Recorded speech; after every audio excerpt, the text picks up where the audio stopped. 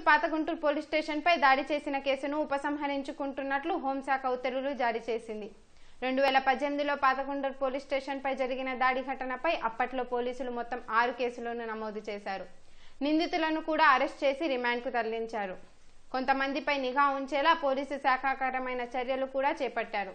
అయితే ఆ కేసులన్నిటిని ఉపసంహరించుకున్నట్లు హోంశాఖ ఉత్తర్వులు జారీ చేయడంతో ఆ కేసులో ఉన్న నిందితులందరికీ ఉపశమనం లభించింది. వైసీపీ ప్రభుత్వం తీసుకున్న ఈ నిర్ణయం మైనారిటీ వర్గంలో ఉత్తేజాన్ని కలిగించింది.